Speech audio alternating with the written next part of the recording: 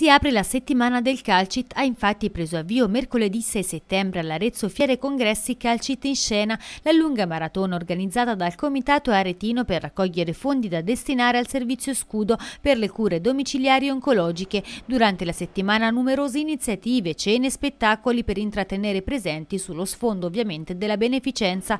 La manifestazione avrà come momento clou il diciassettesimo mercatino dei ragazzi in programma per domenica tutta la giornata. Sabato Sabato 9 settembre alle 21.15 invece sarà la compagnia teatrale del Polvarone a tornare ad esibirsi per il Calcit con lo spettacolo Sto matrimonio non sa da fare. Presenta la manifestazione anche l'Unione Italiana Foto Amatori con la mostra fotografica collettiva dei soci.